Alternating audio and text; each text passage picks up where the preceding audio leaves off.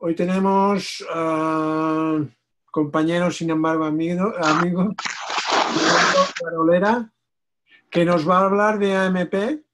Eh, y nada, pues ya sabéis la dinámica, no hace falta que diga nada. Sin más preámbulo, Eduardo, cuando quieras, pues ya puedes empezar.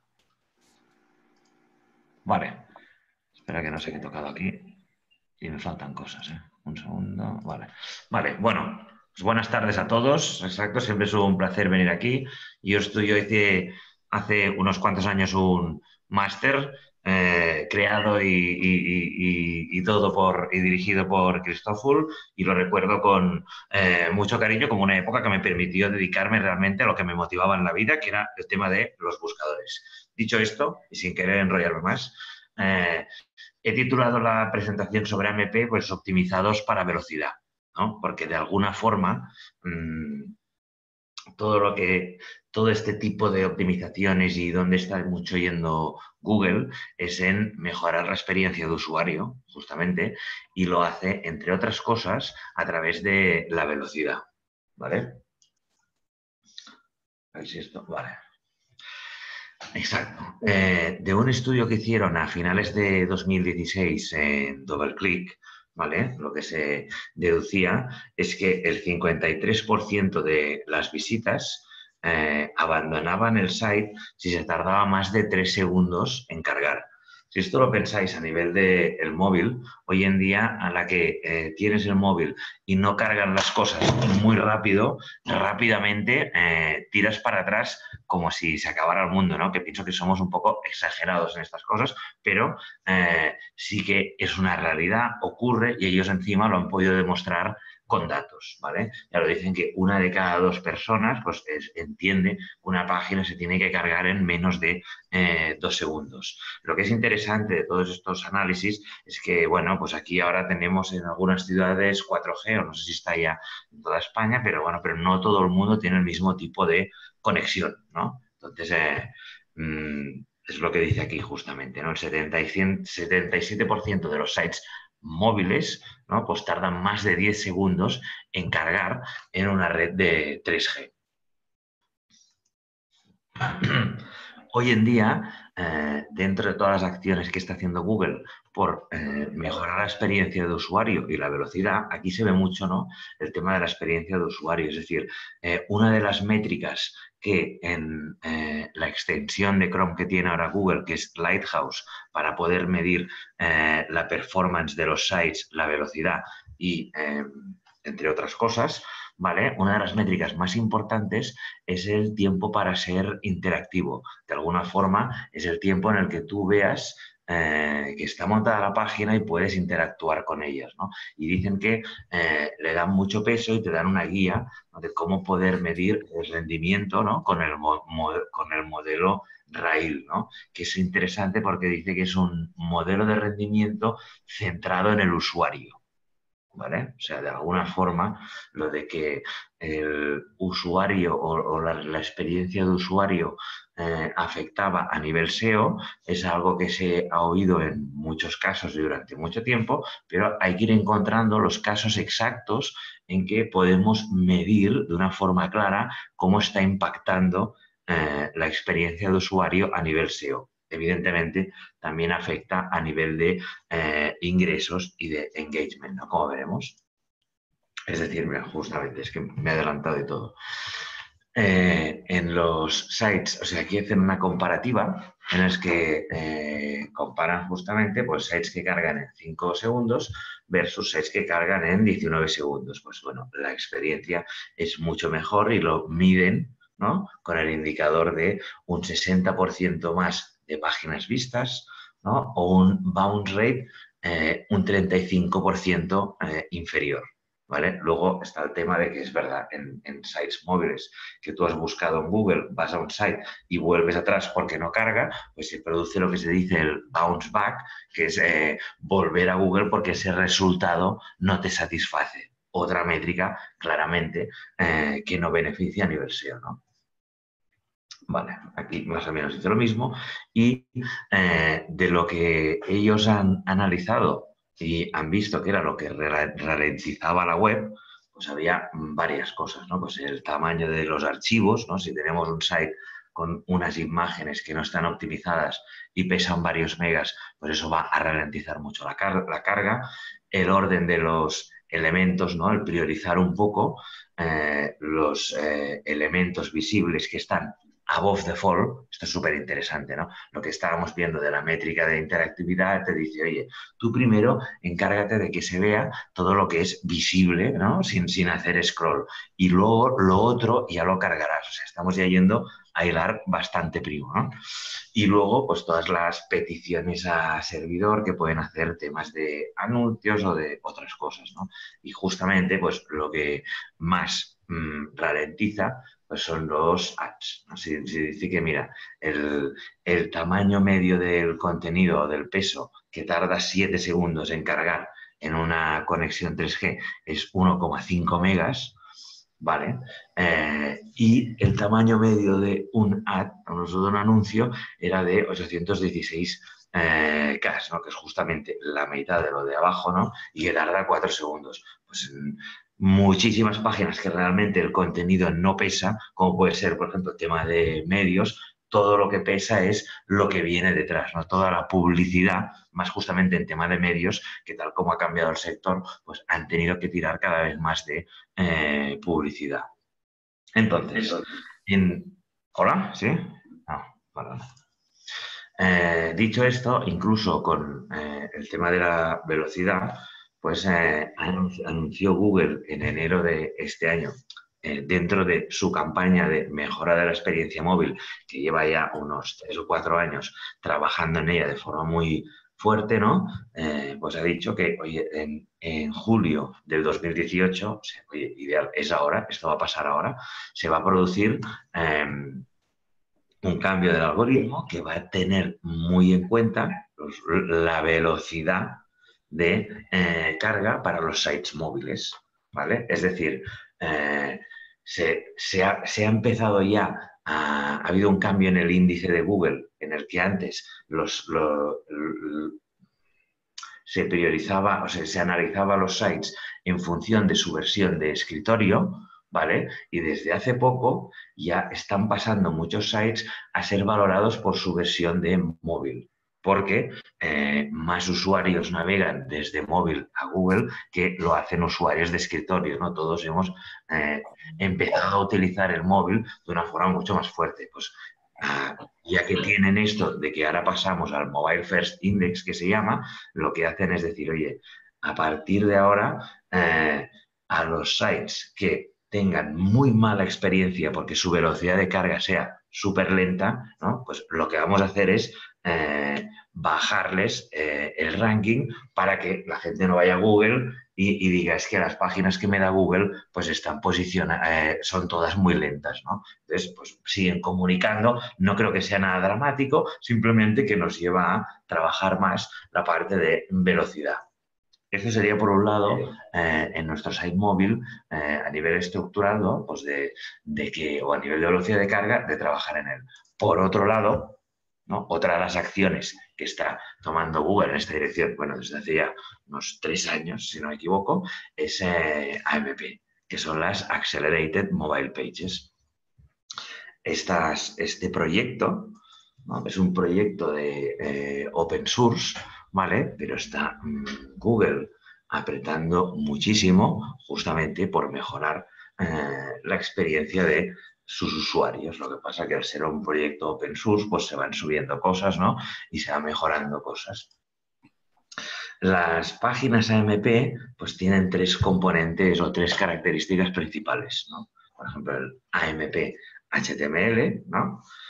Que es un HTML con restricciones. El AMP JS, ¿no? que es una librería de JavaScript que asegura que eh, el renderizado de las páginas se hace de una forma rápida y eh, el AMP caché, que es, el, que es la caché que se utiliza para servir las páginas de AMP HTML. Es decir, mm, lo importante aquí es ver eh, que el AMP HTML, o el primero de los tres componentes, es un HTML a dieta. Es un HTML a dieta pero que debido a que mm, se inventó hace poco y se está desarrollando de forma continua, ha mejorado muchísimo, eh, sobre todo en el último año, en las capacidades que tiene a nivel de experiencia de usuario. Es decir, hace eh, dos años simplemente mm, los medios de comunicación utilizaban AMP, ya que era básicamente eh, texto y hoy en día, luego veremos, pues se pueden hacer auténticas maravillas a nivel de, HTML. Es cierto que es un HTML a dieta, pero se han adaptado componentes al AMP para eh, poder tener una experiencia mucho más rica a nivel de usuario.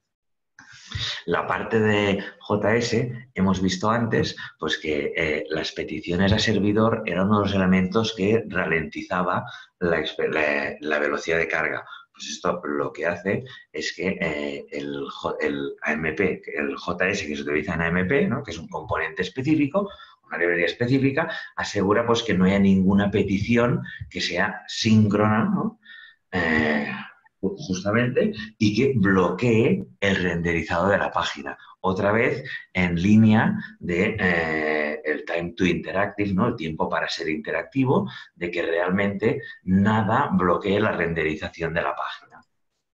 Y por último, y esto a mí me parece bastante interesante, es que se utiliza el Google AMP Caché, ¿no? De alguna forma, tú al servir las versiones de las páginas en AMP, Google las almacena y las sirve directamente él desde eh, la caché de los resultados de búsqueda. Pues entonces ya asegurando una experiencia de carga mucho más rápida. Por otro lado, eh, otro de los cambios importantes que está mm, promoviendo mucho Google son las Progressive Web Apps, que por simplificar un poco, eh, lo que hacen es eh, llevan, llevan parte de la experiencia de las eh, apps ¿no? a la web. De alguna forma cargan más rápido, responden más rápido, como normalmente lo hacen las apps, evitan la parte de que, te, aparezca el, dinosaurio de Google, como si no, si, no tienes retos, si tienes problemas de carga, y eh, tienen mucho más engagement tal y como lo tienen eh, las apps. Eh, ¿Por qué hablamos ahora un poco de las Progressive Web Apps? Pues como parece que es otro movimiento de Google, igual que la MP, que está empujando mucho en esta dirección, ¿vale? Pues también se ha fusionado un poco o, se está encontrando la forma de combinar lo que son las Progressive Web Apps con las Progressive Web Apps en AMP. Las que eh, tendríamos como la estructura de la Progressive Web App, que mm, sería lo que sería la programación en sí más eh, clásica, y todo el contenido sería AMP. Por lo tanto, eh, no solo nos llega para la web normal, sino que ya estamos trabajando en lo que parece que va a ser el, próximo, el, siguiente tipo de eh, experiencia a nivel web. Vale, aquí es importante, ¿no? Una vez entendemos todo el concepto de lo que es el AMP, que espero que haya quedado un poco claro, decir, vale, mm, tenemos un site, ¿es realmente AMP para nosotros? ¿Nos vale la pena el implementarlo? Y bueno, la situación será distinta si eres un e-commerce, si eres un medio de comunicación o incluso si eres una red social, ¿no? de alguna forma, a ver, es lo que decíamos, eh, a nivel de diseño y funcionalidad, mm, es, un, es, una comunidad que se está expandiendo, ¿no? Pero sí que es verdad que eh, hay ciertas limitaciones a nivel de uso de CSS y a nivel de ciertas interactividades que quisiéramos darle a eh, la página. Por lo tanto, es muy importante pues, mirar antes de, o sea, valorar y evaluar si podemos o no utilizar AMP para nuestro caso, pues mirando cuáles son las funcionalidades que nosotros tenemos y que nos, nos gustaría mantener en, nuestro site, mirando si existe el, el, módulo en AMP que nos permite hacer o mantener este comportamiento. Por ejemplo, han aparecido de cara a los publishers las historias en AMP, es decir, muy parecido a las eh, historias de, Instagram ¿no? o a los estados de eh, WhatsApp, sobre todo, ¿no? Incluso con el, como veis aquí abajo, con la parte esta que va cargando y te va cambiando y que te permite, pues, eh, integrar vídeo, música, y, una experiencia de usuario que acostumbrados a ver AMP en medios, que era básicamente texto mm, con poco estilo a nivel de CSS, pues da una experiencia mucho mejor. Es decir, se nota que la comunidad va madurando y, se y el producto AMP en sí está ganando mucha relevancia y muchas nuevas funcionalidades. A nivel de e-commerce, Claro, una cosa es decir, oye, simplemente cargo eh, el texto y la otra es ver ya eh, módulos necesarios, como puede ser en una mm, página de categoría de un e-commerce, tener la opción de filtrar. Pues bueno, pues hasta hace un tiempo esta opción que nos parece tan básica no tenía su equivalente en AMP. Pues, pues, pues, era un problema. Decías encontrar una barrera a la eh, implementación de AMP, ¿no? Y ya se está mirando, pues, en este caso ya se ha solucionado. Aquí es un ejemplo, no es que tenga seguramente el mejor estilo o diseño del mundo, pero lo importante es que pueda hacer la funcionalidad y luego ya eh, se pondrá al gusto de cada uno otro ejemplo de página de categoría, ¿no? En este caso, un hotel en el que puedes reservar las habitaciones eh, en función de tus gustos y lo puedes hacer teniendo una experiencia de carga mucho más rápida y, por lo tanto, disfrutando de, una experiencia mucho más veloz. ¿Qué más? otra de las cosas que se ha implementado o que se ha desarrollado, ¿no? Pues es un flujo de pago. Aquí, oye, tienes eh, el producto este, en este caso son manzanas, le das a eh, pagar y te sale mm, rápidamente, ¿no? Pues todo el módulo con tus datos para que puedas pagar. Los datos salen si los has introducido previamente, ¿no? Pero, pero, se puede hacer eh, perfectamente. Es decir, que en su esfuerzo por eh, ampliar la web, ¿no? Pues la, Google está consiguiendo que la comunidad cada vez haga desarrollos más interesantes. Otro tema que había era el tema de los ads. Y realmente es que hoy en día en los ads se puede hacer todo, casi todo, ¿vale? Con eh, AMP. Se pueden hacer vídeos, se pueden hacer slides, se puede hacer la mayoría de cosas, por lo tanto, eh, como se ha visto que mm, al incrementar la experiencia de, o sea, la velocidad de carga, incrementa el engagement, incrementan muchas veces las page views, para según qué tipo de contenidos, ¿no? Pues entonces lo que pasa es que eh, al desarrollar todos, todo esto a nivel de, ads, eh, los medios pues también van a cada vez, o, todos los publishers van a intentar implementar AMP porque seguramente eh, las tasas de conversión de anuncios o las impresiones pues también van a, van a aumentar y les va a permitir pues, generar más dinero. Incluso está ya en modo experimental, pero supongo que ya lo habréis eh, visto, lo habréis oído, ¿no? Pues la parte de eh, Gmail, ¿no? Que Gmail pues, va a pasar a ser en eh, AMP, pero con todas las funcionalidades, en principio, que tiene Gmail y siendo tan interactivo y útil como es hasta la fecha. Otro punto importante es que AMP soporta datos estructurados, ¿vale? Es decir, a nivel SEO nos va muy bien eh, tener algún tipo de estos eh, resultados de búsqueda en los que tendremos un mayor CTR y por lo tanto podremos generar más visitas y esto se producirá igual en nuestra versión en eh, AMP, que actualmente sí que sale la versión para medios de carrusel de noticias, pero que permite que salga, que tu contenido en AMP salga para otras cosas.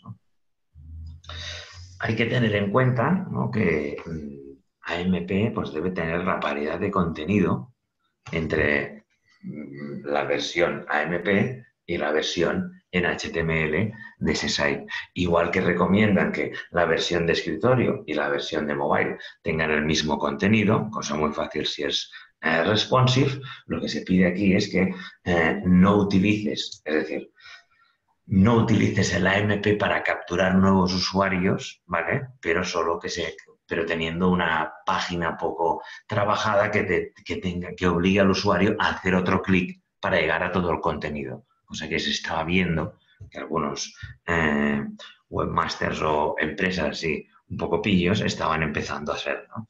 Es decir, para, con que AMP ha estado teniendo más visibilidad y normalmente eh, posiciona mejor que el contenido normal, pues lo que se estaba haciendo era em, tener una versión donde en lugar de tener todo el contenido, tenía solo un poco para poder posicionar mediante AMP. Por lo tanto, han dicho, oye, no, el contenido que tengas en eh, AMP tiene, o en, tu, en, en tu página HTML tiene que ser el mismo en la versión Vale. A nivel de implementación,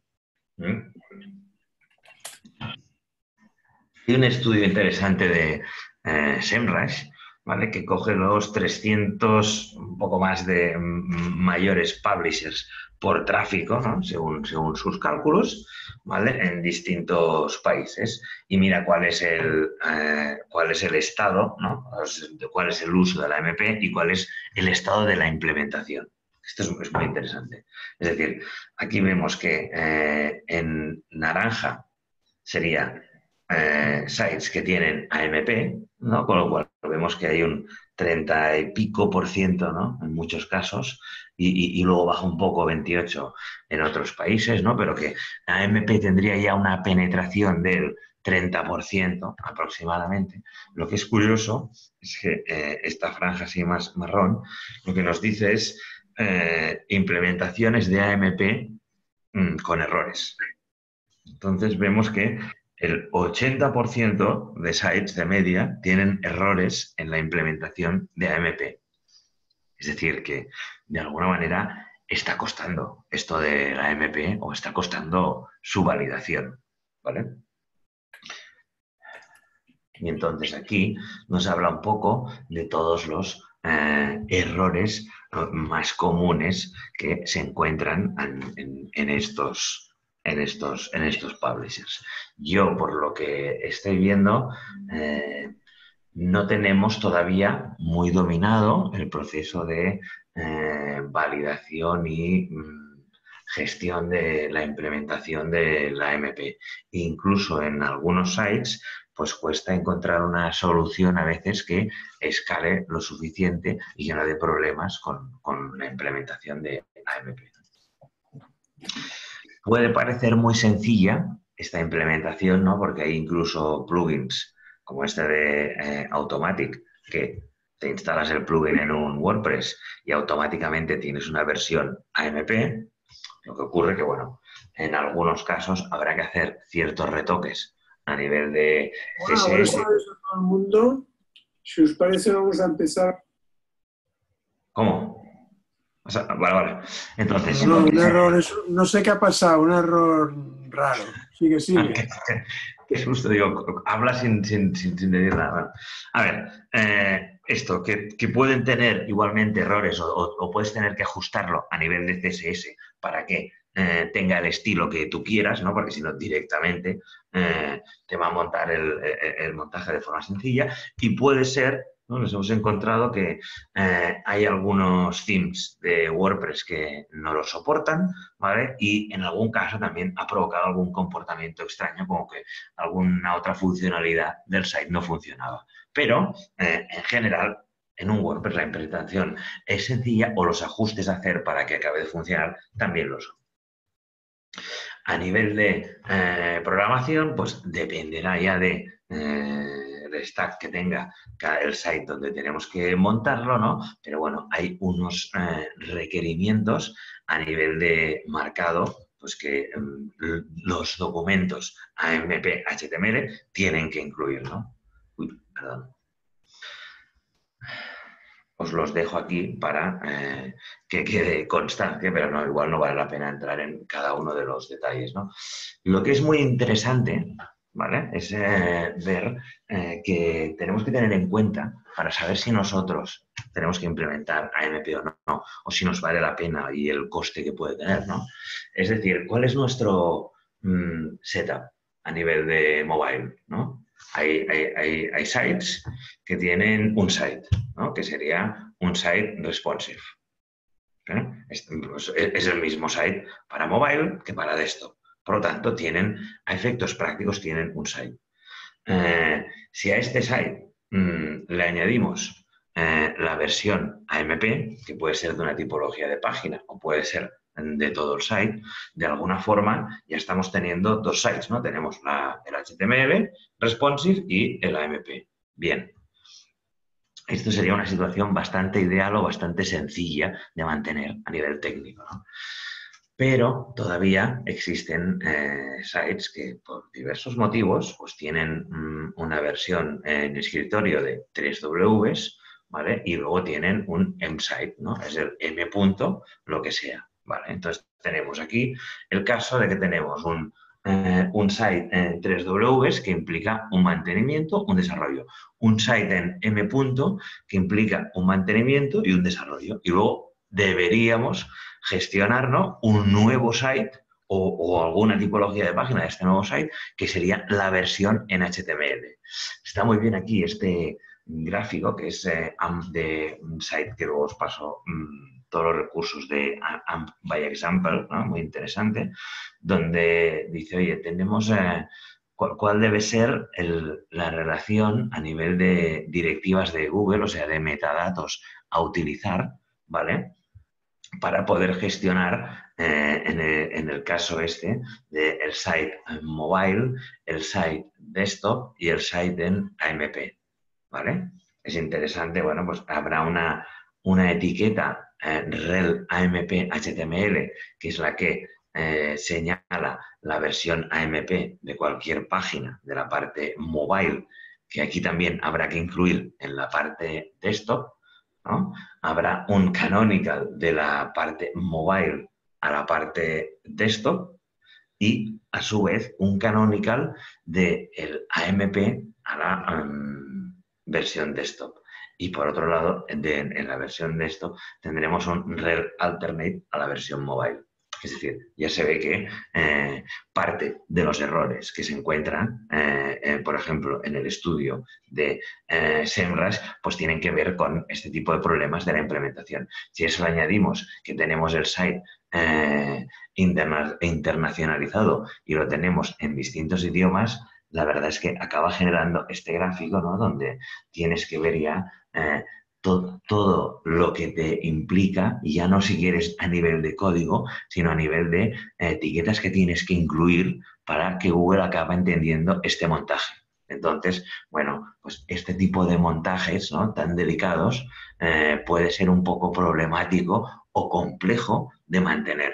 Y entonces, pues bueno, es otra de las cosas que tenemos que evaluar en caso de que queramos implementar AMP, ¿no? ¿Cuál es nuestro setup a nivel de mobile? Igual dices, oye, si cogemos y estos dos sites que tenemos, ¿no? el, de 3W y el de M. los fusionamos en uno y lo hacemos responsive, pues igual ya ganamos y ya el mantenimiento posterior sería distinto. Pues es, otra de las cosas que hay que tener en cuenta.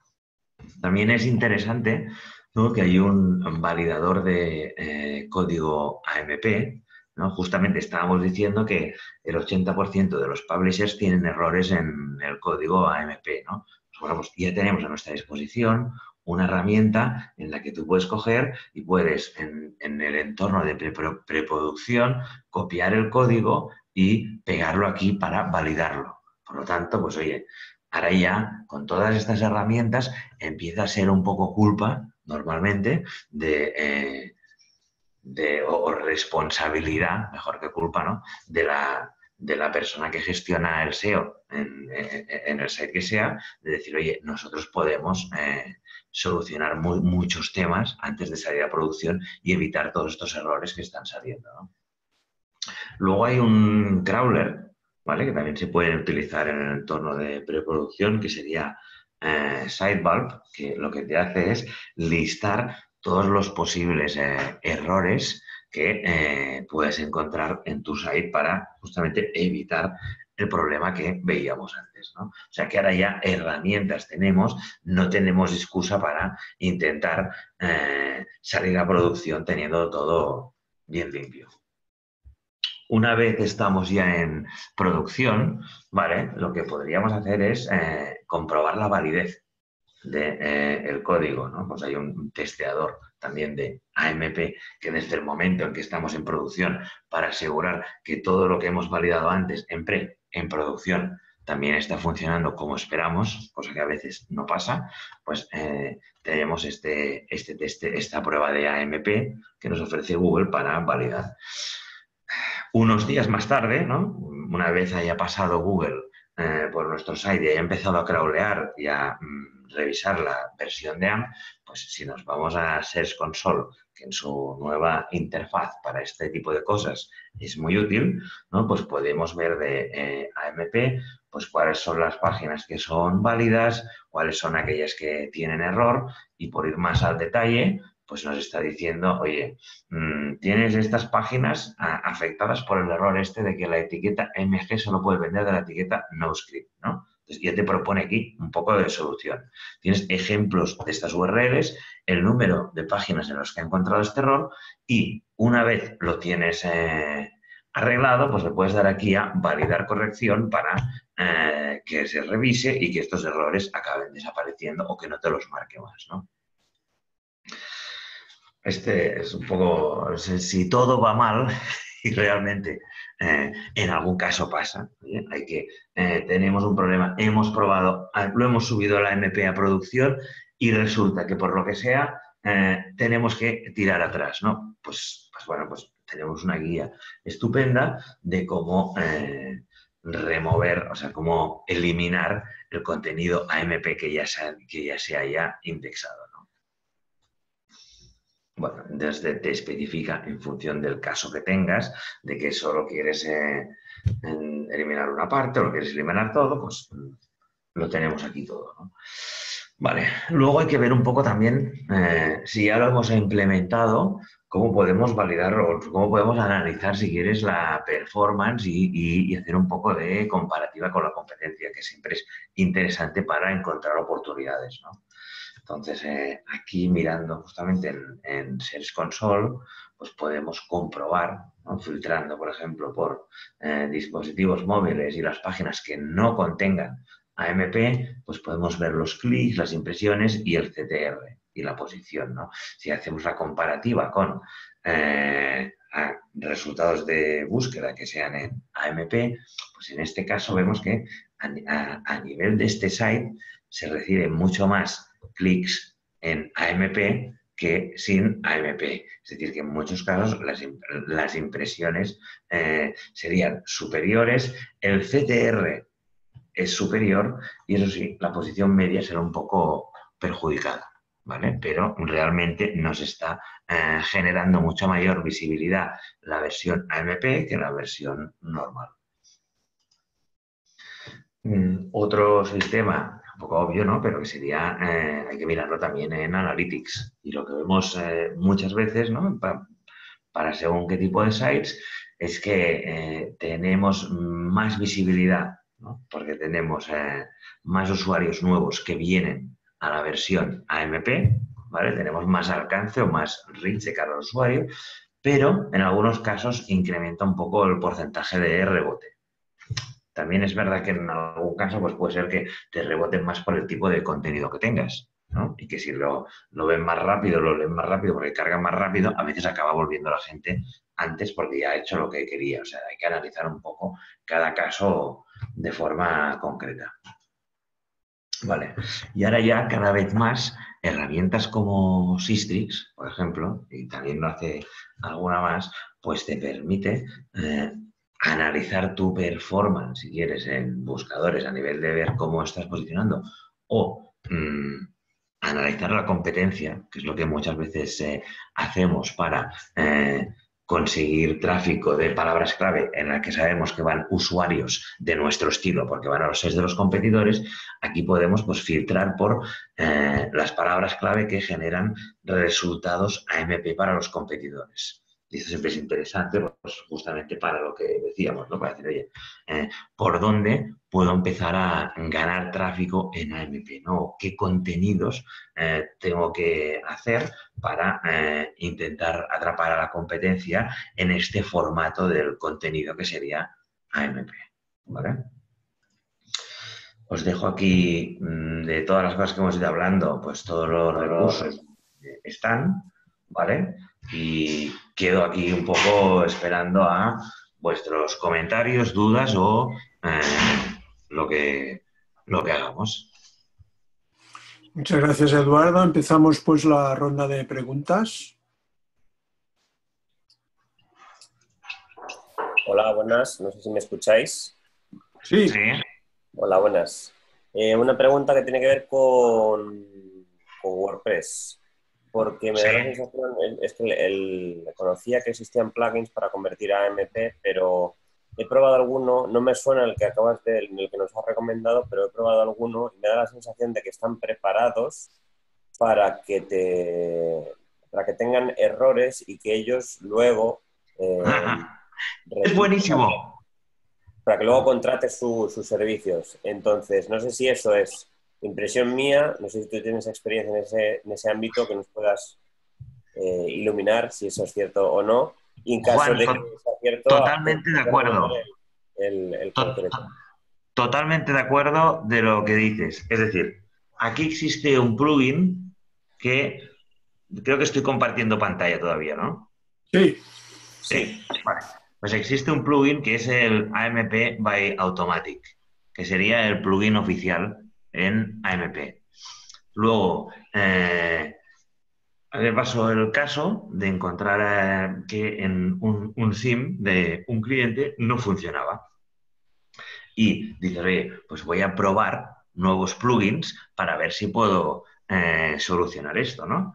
Y lo que ocurre es que justamente el, te, dicen, oye, para cualquier caso de soporte, pues ponerte en contacto con nosotros y eh, al final lo que te quieren hacer es o bien eh, cobrarte por la implementación y si hace falta, directamente me he encontrado que eh, se han puesto en contacto con el cliente directamente para puentearte ¿no? y, y, poder conseguir su facturación. Es decir, que yo entiendo que hay que ir al plugin oficial que es el Automatic y en muchos casos pues eh, tener un desarrollador de confianza que eh, arregle aspectos como estilos o algún otro aspecto que pueda ser de integración. No digo que esté mal en ¿eh? los otros plugins, no, pero simplemente pues están más montados ya para, son un plugin con soporte incluido que tienes que pagar aparte. ¿Sí? ¿Me he explicado? Sí, perfectamente. Muchas gracias. Eduardo, pero mm, ¿Tiene que ser un plugin? ¿No podría ser una plantilla o tema implementada con AMP? Sí, correcto, correcto. A ver, eh, sí que podrías hacer eso. Mm, ahí me pillas un poco en fuera de juego de, porque no tengo claras eh, qué plantillas hay ya que tengan eh, AMP o que estén desarrolladas de AMP de serie, ¿no? Pero, pero seguramente existen. No tiene por qué ser un plugin, pero hasta ahora, de alguna forma, el plugin era uno de los caminos más rápidos para llegar a la MP. Para salir sencillo. Con el plugin representa que puedes poner cualquier tema, ¿no? Claro. En si buscas un tema específico con AMP, pues tienes que quedarte con ese tema, no lo puedes cambiar, ¿no? Bueno, es que estaba pensando, según esto que comentas, de igual hay eh, algún tema que está ya desarrollado totalmente en AMP. Es decir, que igual no tienes una versión que no sea AMP, sino que es todo AMP. ¿Me explico? Sí, sí, sí, sí, sí, sí. Esto es interesante, ¿ves? Sí.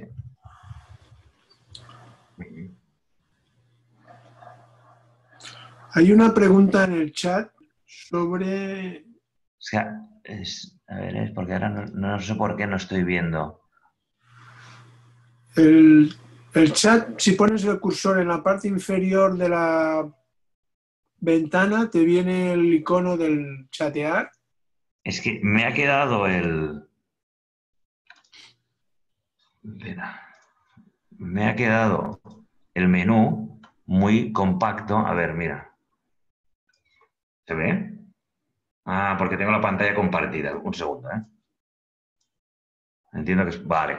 Perfecto. Vale, vale. Es que al tener la pantalla compartida me desaparecía eh, todo el menú. Eh, ¿Qué inconvenientes tiene esta tecnología? Vale.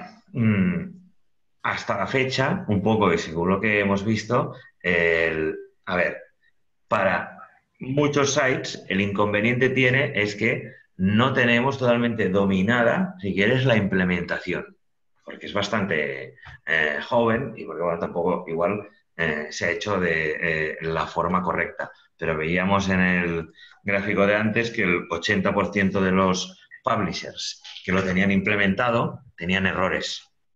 Esto, bueno, es un inconveniente, tampoco igual, pero genera cierto trabajo la adopción de esta tecnología. Mm, ¿Qué más podría ser inconveniente? Yo te diría que eh, tal y como ha avanzado, si quieres, los estilos o el CSS hoy en día, pues todavía igual hay ciertas cosas que en AMP no se puede hacer del todo.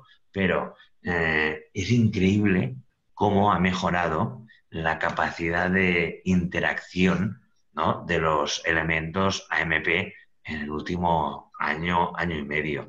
Y mm, es en gran parte, entiendo yo, eh, gracias a Google, que incluso tiene pues un AMP Roadshow, ¿no? Que va haciendo conferencias evangelizadoras eh, por todo el mundo para mm, facilitar la comprensión e impresión de esta tecnología. Actualmente se ve mm, un e-commerce importante eh, español que está llevando un proyecto un poco eh, innovador, si quieres, de la mano de Google, ¿no? que, les han contactado y les ha dicho, oye, mira, queremos llevar con vosotros adelante este proyecto de implementación de AMP y entonces eh, eh, así podréis sacarle el máximo partido, ¿no? porque Google va mucho en la dirección que decíamos de que realmente la experiencia sea muy rápida. Yo no le veo muchos inconvenientes hoy en día, más que, pero dependerá un poco del site. Es decir, dependerá un poco del montaje o, del stack tecnológico que tengas en eh, tu site. Sí que he visto eh, problemática, que lo he comentado un poco por encima antes, en un site que lo ha querido implementar de una forma que mm, no podían escalarlo. Es decir, eh, por, la técnica, o sea, o por, el, por el esquema de implementación que tenían, porque lo han basado todo en JavaScript. Bueno, pues por unos aspectos técnicos funcionaba perfectamente para una página, pero era imposible gestionar un millón de peticiones al día. No podían y entonces pues, no les ha funcionado. Pues hombre, ¿es un inconveniente? Pues bueno, es la adopción, es más inconveniente la adopción de una tecnología nueva de la que, bueno, eh, siempre hay que formarse, siempre hay que aprender y siempre hay que tener muy claro lo que se va a hacer. Y todo esto lleva un tiempo, pero no lo veo como un inconveniente, lo veo más como parte del trabajo, ya sea del desarrollador o ya sea de la persona SEO que está gestionando esto. Y mm, veo que a nivel SEO, pues, en algunos casos, mm, nosotros hemos visto que da mayor visibilidad y por lo tanto da mayor número de visitas. Y bueno, en los casos en que se va implementando en otros eh, sites que no son de tipo medio, medios, ¿no? que no son prensa, sí que mm, en, en, algunos no hemos implementado en página de categoría porque no estaba tan maduro el tema o no lo veíamos claro, pero lo hemos hecho en fichas de producto y el resultado ha sido positivo. Y sé incluso de algún site que lo ha implementado en eh, categoría y que la verdad es que les ha ido muy bien a nivel de visibilidad. Es decir, si coges, eh, tienes dos versiones, tienes la versión HTML y la versión AMP, mm, si sumas el tráfico de los dos, pues te da más tráfico que cuando solo tenías el HTML. Pues oye, perfecto, positivo. Si el resto de métricas acompañan, genial. Y si no, pues hay que evaluar, eso que decíamos, hay que evaluar. Uno de, eh, vale, dicho esto, veo que Vero pregunta algo que va relacionado, ya si acaso lo eh, respondo porque va por el tema. ¿no? A la hora de evaluar si vale la pena eh, implementarlo, ¿cómo sé qué limitaciones tengo a nivel de funcionalidad y diseño? Sí, hay una guía, Vero, y la tienes en eh, al final de la presentación, que ahora se la paso a Cristóforo, ¿vale? Que es, la, es el AMP project.org e incluso en ampbyexample.com, ahí puedes ver eh, todas las funcionalidades, ¿no? Tienes una reference guide donde poder ver todo lo que se puede hacer, ¿vale? Entonces tienes que, mm, tienes el trabajo, si quieres, de identificar cuáles son las funcionalidades que tienes en tu site y eh, si tienen un equivalente o no. ¿Mm? Dice, no me queda claro cómo implementarlo en un site mobile. Es mediante código HTML, ¿no? Sí, sí, sí, sí, correcto. El tema es que mm, me he dado cuenta de que me ha faltado una cosa que he dado por sentada en esta presentación y que no he dicho, ¿no?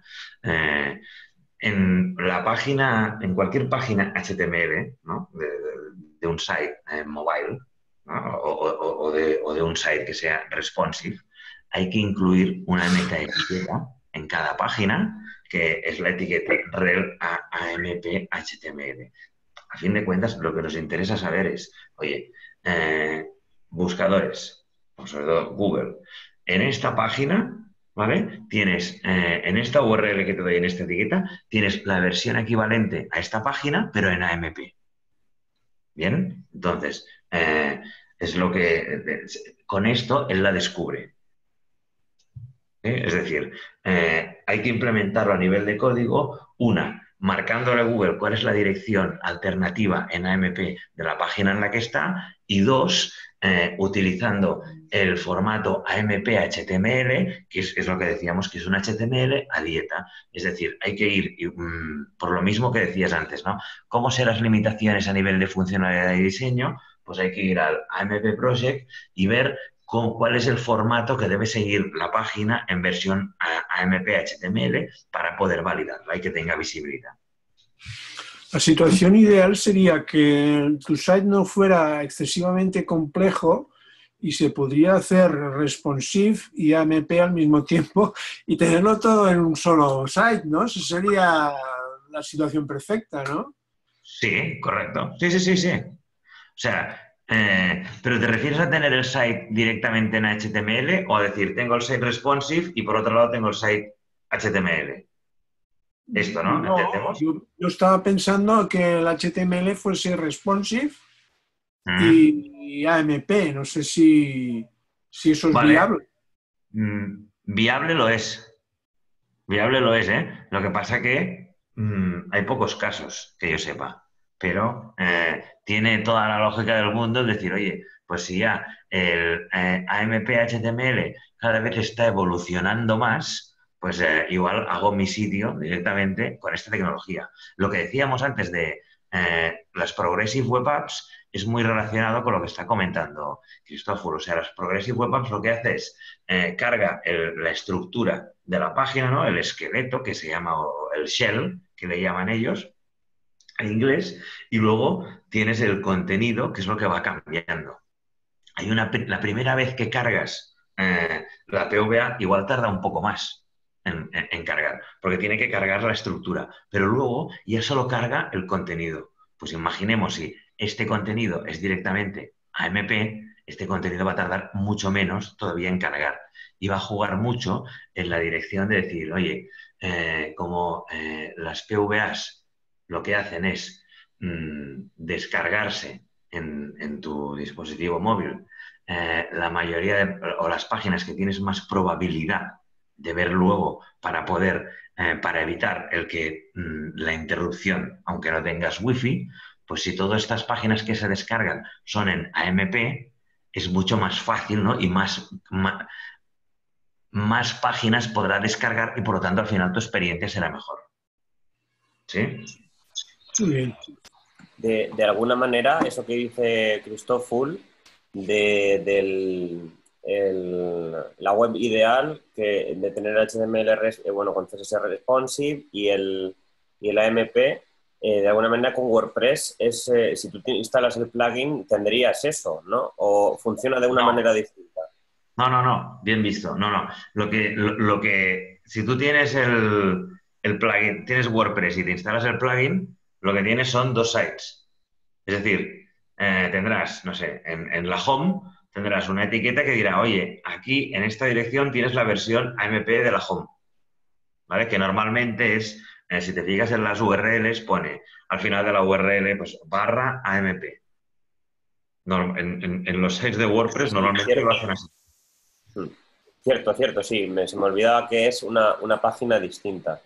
Claro, eso es, una, alternativa a la página normal. Pero claro, también entiendo que eh, decirle a todo el mundo, oye, hay que empezar a reprogramar todos los sites de nuevo, pues hay que lo hacen un poco poco a poco, aprendemos sobre la MP y si podemos tener esta experiencia mejora de navegación, pues mejor que mejor.